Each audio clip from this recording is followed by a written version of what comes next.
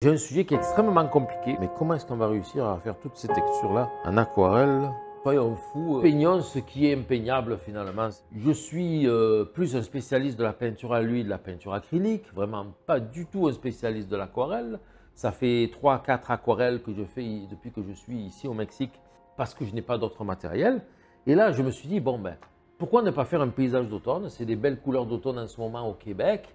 Et voilà donc un sujet super beau en photo. Maintenant, en aquarelle, ça va donner quoi? On va d'abord tout simplement euh, un petit peu, bien sûr, analyser le sujet et voir qu'est-ce qu'on peut faire avec ça en aquarelle. Déjà, c'est une photo qui est prise avec un téléphone, un smartphone en full euh, format, non pas 16 euh, neuvième, donc c'est vraiment trop large.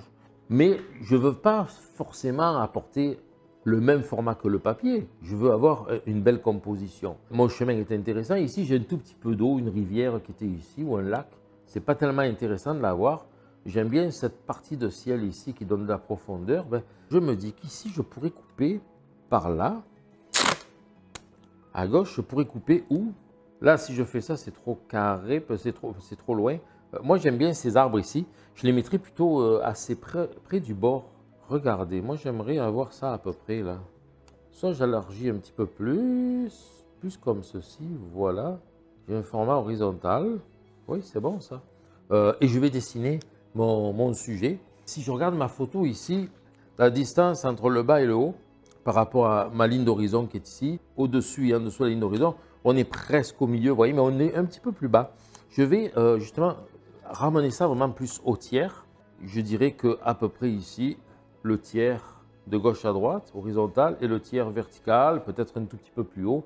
Ça serait intéressant d'en avoir notre point de fuite ici. Vous voyez, on s'en va comme ceci un petit peu pour le chemin et il tourne rapidement pour venir finir dans le coin ici. Ensuite, on est à peu près au milieu. Alors c'est sûr que là, mon papier est plus large. Alors vous voyez, ce que je vais faire? J'ai changé d'idée. Je vais changer d'idée. Je ne vais pas tenir compte de ce cadre-là. Ça n'a pas d'importance. Parce que je pourrais très bien le recouper après ici s'il le faut et faire un format carré sans aucun problème. Donc j'y vais vraiment plus, euh, on va dire plus naturel avec le sujet et non pas avec le cadre. Ça ira ou ça ira, ok? J'y vais avec plutôt l'angle ici, l'angle, c'est bon? Comme là ici, par rapport à ça, j'ai mon petit chemin à faire par là. Voilà, c'est assez large. J'ai ici un buisson assez clair. Ici aussi, c'est pas mal clair. Donc, on voit cette, cette espèce de diagonale de lumière ici qui s'en va vers là, qu'on pourrait imaginer s'en aller vers là. On pourrait la faire dans le même axe simplement, sans trop chercher, réfléchir où ça, ça va à droite pourrait finir notre paysage flou par là. Hein. Alors je réfléchis à haute voix parce que comme ça, ça vous donne des indications de, on va dire, ma façon de, penser là. Hein. Alors j'ai euh, ici une belle lumière de feuillage ici. Hein. je pourrais avoir un petit feuillage qui s'en vient par là, un autre par là, comme ceci, voilà. Ça, c'est tout ce qui est loin finalement. Puis nous avons les arbres, les grands arbres foncés. Nous avons notre partie de ciel ici, un petit peu plus à droite, par ici, voilà. Notre point focal, ça sera ici. Ça pourrait être aussi, donc notre sujet principal, ça serait la, la fin du chemin. Ça va être à nous de jouer avec ça, avec les ombres et lumières. Ici à droite, nous avons une série d'arbres foncés. Nous avons bien sûr pas mal de lumière, du feuillage lumineux, du feuillage assez rougeâtre, sans être nécessairement très euh, réaliste au niveau du dessin, mais il est quand même important de le faire pour savoir où se trouvent nos éléments. Et tout ça, c'est tout des textures. Mais comment est-ce qu'on va réussir à faire toutes ces textures-là en aquarelle? On va être obligé d'utiliser une technique particulière qui n'a rien à voir avec tout ce que j'ai fait jusqu'à maintenant. Sur les autres aquarelles, où je faisais surtout des lavis assez uniformes, là, il va falloir faire des lavis texturés. Mon Dieu, comment allons-nous faire ça? Euh, Bon, c'est compliqué, très compliqué, mais on va essayer. J'ai un cadeau pour vous si vous êtes passionné euh, par l'aquarelle ou si vous souhaitez vous lancer. Découvrez gratuitement la nouvelle plateforme de formation dédiée à l'apprentissage de la peinture en ligne, l'Artemi. Vous y trouverez donc des cours tels que les bases de l'aquarelle, les exercices de couleur en aquarelle, le carnet de voyage, le paysage en aquarelle facile. Et ce sont d'autres professeurs aussi qui donnent les cours sur cette euh, plateforme de formation. Donc il vous suffit de cliquer sur le lien qui est dans la description juste en dessous de la vidéo pour y accéder gratuitement. Alors, je suis allé chercher euh, sur Internet euh, cette, euh, les couleurs que j'ai exactement. Quelles sont ces couleurs-là? J'ai fait des marques ici. Voilà, je vais pouvoir commencer à travailler J'ai toutes sortes d'outils pour faire du grattage, tout ça. Je vais commencer par appliquer de la gomme de réserve pour mes troncs d'arbres les plus blancs. Euh, pour le chemin, je vais agir un petit peu différemment ici. Voilà, j'ai un pinceau en soie de porc, un pinceau pour faire de la peinture à l'huile, que j'ai coupé avec des ciseaux pour le rendre plus raide. Ce qui fait que là, je vais pouvoir prendre un petit peu de gomme de réserve sur mon pinceau. Voilà, et je peux venir faire des petites projections. Mais avant ça, je ne vais pas en projeter absolument partout. Je vais peut-être faire un petit peu de, protection pour pas qu'il y en ait partout, partout, partout. Et voilà. Quelques petites projections comme ceci. Alors avec mon doigt, ouais, ça fait des petites pointes, des petites gouttes. J'utilise ça comme si c'était une brosse à dents un petit peu, voilà. Étant donné qu'on aura beaucoup de textures à faire sur ce tableau, cette méthode va être reprise plusieurs fois. Et ici, je vais venir frotter un petit peu, voilà. Faire apparaître quelques lumières. Alors ça sèche vite hein, sur le pinceau. Vous voyez, ça nous fait des belles petites lignes fines. Alors une fois que ça sera sec, qu'on aura fini de peindre, qu'on va enlever ça, je vais pouvoir revenir avec des glacis dessus, je pense. Des glacis plus pâles, mais des fois ça va être un petit peu plus jaune, des fois un petit peu plus vert, ça va me permettre de travailler ces lumières-là. Parce que comment voulez-vous faire autant de petites lumières fines si je ne travaille pas comme ça? Au début, je arriverai pas. C'est sûr, ça va être très blanc quand je vais l'enlever, mais on va devoir repeindre un petit peu à la place de la gomme, un tout petit pas certain de pouvoir récupérer mon, pinceau après, mais peut-être, oui. En le lavant bien au savon, ça devrait. Alors, c'est un pinceau vraiment très, très, très bon marché, là, qu'on a acheté. Puis, euh, on peut le sacrifier pour ça. C'est pas grave. Donc là, on laisse sécher, mais ça sèche quand même assez vite. Et on va pouvoir commencer à penser les couleurs. Comment est-ce qu'on va faire ça? Bon, ben, je veux avoir une belle harmonie colorée. Je vais me limiter dans mes couleurs. Et je vais préparer mes mélanges ici, tiens. Alors, le jaune pâle, c'est quasiment un pléonasme. Le jaune, c'est toujours pâle. Surtout que celui-là, il n'est pas très fort, fait que je peux en mettre un petit peu plus. Après, on va mettre un petit peu plus euh, orangé. Je fais à peu près le même mélange, toujours du jaune. Puis je vais ajouter de l'orange. Voilà, vous voyez, ça fait une autre teinte, un petit peu plus orangée, c'est intéressant. Après, on va y aller, on va oser, on va mettre plus rouge. Et plus rouge, je vais directement avec le vermillon. On est d'accord qu'il y a pas mal d'eau, donc ça va faire des couleurs pâles et transparentes. Hein. Ok. Après ça, on va y aller avec de l'ocre ici. On va revenir dans des tons un peu plus bruns. On va faire les bruns maintenant un petit peu, voilà. Donc c'est assez monochrome. Hein. Voilà, l'ocre. Et si je trouve que c'est trop pâle, pas assez pigmenté, il me suffira de revenir dans mes pastilles, rechercher un petit peu plus de pigment. Je m'organise comme ça. On va voir si ce que je fais c'est bien ou non. On va le savoir plus tard là. Alors ça prend un peu de temps à faire tout ça, mais ça m'avance pour plus tard. Hein. Ça va aller plus vite après. Qu'est-ce que ça nous donne sur une feuille de test? Ah, c'est très bleu, vous voyez, c'est fou comme ça n'a pas du tout la même teinte par rapport à ce qu'on... Voilà, je vais remettre du vert euh, jaune permanent. Ah, il revire au vert, là, je le vois. Voilà. Ah, c'est fou, hein Incroyable. Ouais. Hein. Intéressant. Ok. Là, j'ai une base là pour commencer à faire mes, euh, mes lavis. On va commencer par le bleu du ciel. Je cherche ma, mon compte-goutte. il est très pâle. Alors lui, par contre, je vais commencer à l'appliquer vraiment euh, en lavis comme ceci. Hop là. Bon, peut-être un petit peu plus de cobalt, surtout dans le haut. voilà. C'est bon, on va laisser sécher ça. Vous savez, on est en aquarelle, il faut travailler du plus pâle vers le plus foncé. Mais moi, je pense que je vais commencer par faire des lavis. Donc du jaune, de l'orange. Vous voyez, c'est intéressant, ça nous fait des mélanges irréguliers. Des bruns, des beiges. Euh, tranquillement, faire des lavis, mais toujours texturés. De faire le moins possible de choses euh, uniformes et lisses. Essayons d'être jamais uniforme, jamais lisse. Les ombres, les, ombres fortes, on les fera après. Là, on peut laisser sécher un petit moment, sachant que là, on va commencer à, on va commencer, on va continuer à faire la texture, mais une texture de plus en plus forte, donc euh, sur du sec pour pas que les couleurs se mélangent. Ça permet aussi de prendre du recul, de voir où on est rendu, puis qu'est-ce qu'il nous reste à faire, euh, ou du moins par quoi est-ce qu'on doit continuer. Si on veut avoir des belles lumières, il va falloir jouer très fort sur les contrastes. Et des contrastes, euh, on ne peut les avoir qu'en gardant les pâles très pâles. Donc moi, je foncerai pas plus là les pâles. Pour moi, les pâles sont bien. Il va falloir que je travaille peut-être un peu plus maintenant les moyens, donc des quantités euh, minimes de moyens, puis des quantités minimes à moyennes de foncé, pour conserver des quantités moyennes de pâles dans l'ensemble du tableau, du tableau. Et ma gomme de réserve sur le chemin me permet aussi de m'assurer que je ne vais pas tout foncer, trop foncer. Et d'ailleurs, je vais pouvoir faire le tableau complet, mettre les ombres partout, avant de venir retirer la gomme de réserve. On voit qu'on a une palette de couleurs harmonisée quand même. Hein. On a des verts bruns, des verts chauds, et des oranges. À part le bleu du ciel, on est vraiment très limité dans notre palette de couleurs. Je trouve que c'est très bien. Après avoir peint le tableau, qu'on l'a fini, eh bien, on peut recadrer encore. Hein. D'ailleurs, c'est ce qu'on fait souvent euh, avec les aquarelles et le passe-partout hein, qu'on va mettre par-dessus.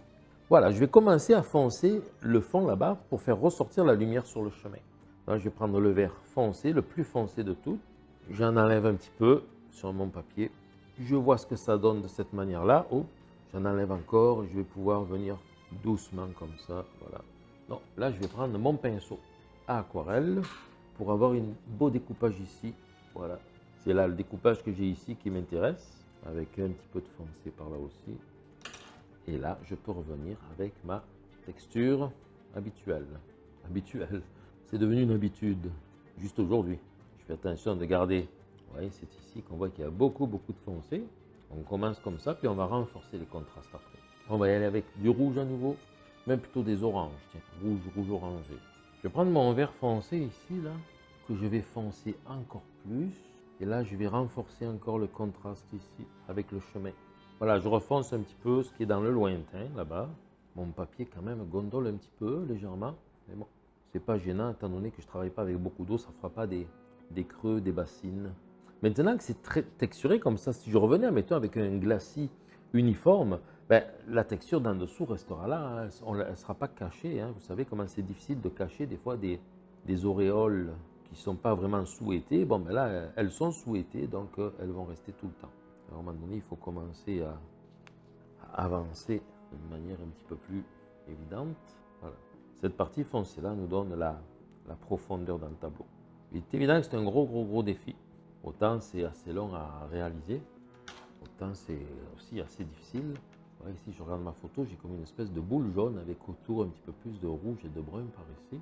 Ça, ça sera pas mal ma couleur de foncé de beaucoup d'endroits dans le tableau, dans le sens où c'est un vert foncé, mais rendu gris par le sépia, une couleur atténuée donc. À cette étape-là, l'important c'est toujours regarder mes lumières.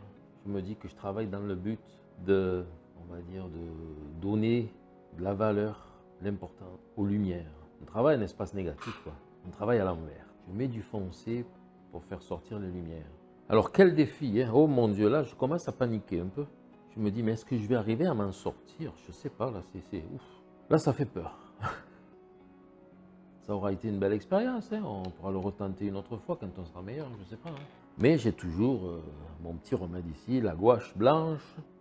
J'ai mon petit couteau pour gratter si je faire revenir du blanc aussi. Les gommes de réserve, je ne suis, suis pas encore complètement perdu. Allez, je vais continuer à foncer euh, les bruns rougeâtres. Brun rouge, le pinceau en soie de porc pour générer des textures ici un petit peu. Voilà, comme ça je ne perds pas tous mes pâles. À des endroits je peux en mettre plus, des endroits moins. C'est comme ça s'en va foncer dans les verres aussi, ça disparaît dans les verres. je pense que c'est justement parce qu'on met ces, quantités de couleurs différentes là que ça va permettre d'avoir les profondeurs aussi. Je vais aller faire un petit lavis, hop, léger sur tout, tout, tout le chemin. Et pour distinguer que c'est le chemin, là, il faut qu'il ait une teinte quand même, euh, voilà, un petit peu différente du reste. Renforcé par-ci, par-là. De toute façon, on a la gomme de réserve à retirer. Voilà. Le chemin, bon, le chemin, on a peut-être un petit peu plus ici, là, des siennes à brûler. Pas le chemin, le bord du chemin, pardon, ici. Moi, je vois ma ligne de crayon ici. Que... Ce qu'on peut faire rendu là, c'est avec euh, mon couteau euh, suisse, une lame, peu importe un couteau, hein. on peut venir gratter un petit peu. Alors, pas pour arriver jusqu'au papier, mais pour arriver aux couches inférieures de, peinture. Si c'est assez mouillé, ça devrait fonctionner. Si ça ne fonctionne pas, ben, c'est que ce n'est pas assez mouillé. C'est devenu trop sec. J'essaye. Hein. Non. Alors, une autre solution aussi, c'est de mettre un petit peu d'eau. Éventuellement, faire des petites lignes minces d'eau comme ça. D'éponger. Ah, là, ça fonctionne, vous voyez. Pour faire réapparaître un petit peu de pâle. Pour que ce soit moins uniforme dans le fond là-bas de la forêt. Là, tiens. Et comme là, je pourrais peut-être retirer ces deux taches foncées. Vous voyez? Voilà. Ici aussi, je pourrais ramener le bas du chemin plus droit ça marche. Si je veux remettre un petit peu de lumière, par exemple, ici, ici, voilà, ça fonctionne aussi. Ça, c'est bien. Alors là-bas, dans le fond, c'est très loin. Là, on pourrait venir faire juste un petit peu comme ça. Un petit trompal. Hop, vous voyez? Ça a marché. C'est pas merveilleux, ça On va faire un petit fin ici, mince et incliné. Le problème, c'est que j'y prends goût, là. Parce que je vais arriver à m'arrêter. Voilà, vous voyez, après c'est trop là. Donc on va revenir, on laisse sécher un peu, puis on revient avec du foncé à nouveau. Mais par contre, je pourrais prendre du, euh, du sépia pur. commencer à mettre des, voilà, des troncs d'arbres loin là-bas. On peut les faire passer, oui, c'est ça, devant cette lumière ici. C'est ça qui manque à une belle forêt. On va commencer à faire des branches. Alors quand c'est trop, je peux venir, hop, fondre un petit peu, retirer, voilà, comme ça. Vous voyez On adoucit un petit peu tout ce qui est très loin. Ici, nous avons quelque part... Euh,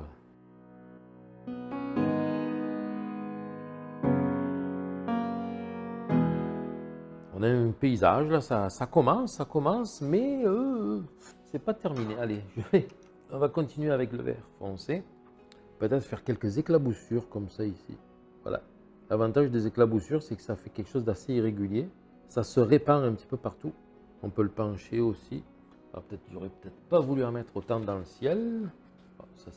ça s'efface très bien aussi. Si tout est bien sec, je pense qu'on va pouvoir commencer à retirer la gomme de réserve pour voir ce que ça donne avant de continuer et continuer à mettre des ombres après ça. je vais enlever surtout d'abord, on va commencer par ces arbres-là, parce qu'il est certain que ça ne peut pas être des arbres aussi blancs. Hein. Hein? On va faire les boulots, puis on va l'enlever partout. Bon, c'est intéressant. C'est intéressant. Est-ce que c'est réussi? J'en sais rien. Dans un autre monde, là, dans de l'huile ou de l'acrylique, j'aurais peut-être fait des ombrages violacés ici. Mais euh, non, non, pas là, parce que on n'est plus dans ces teintes-là. Là, ça ferait trop de couleurs différentes. Je vais garder le sépia. Je vais peut-être mettre du rouge avec le sépia, voilà, pour rendre des ombres un peu plus brun foncé. Et là, je vais pouvoir commencer à tracer des ombres. Et hop, la descente ici, pour dire c'est un chemin, puis là, hop, on s'en vient sur le chemin. Voilà, on commence à générer des premiers contrastes foncés comme ça. C'est bon. On va remettre aussi un petit peu par là-bas. Pas trop loin. Je travaille vraiment mon, dessin de chemin ici, avec les ombres à droite.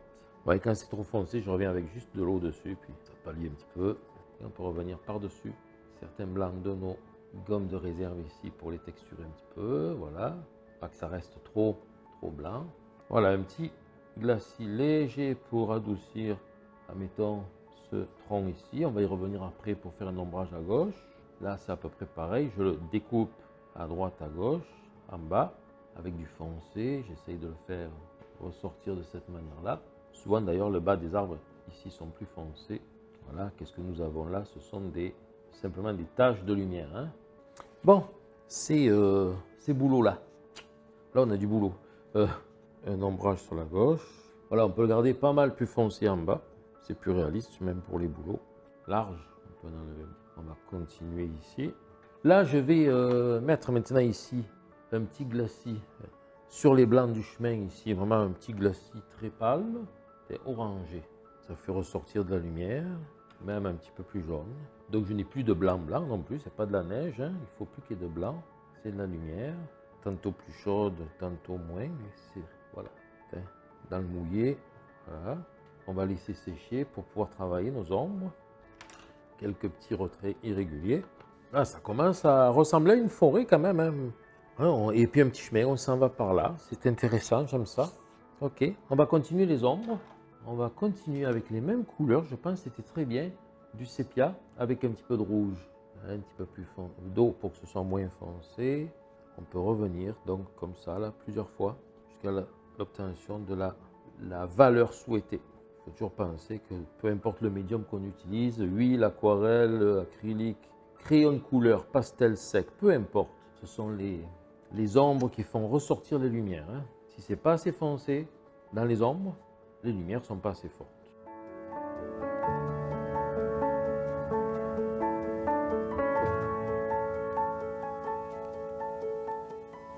En résumé, je vous dirais, j'ai fait ce que j'ai pu.